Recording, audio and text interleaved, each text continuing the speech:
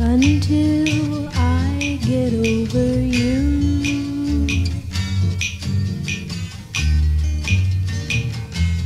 And grass still.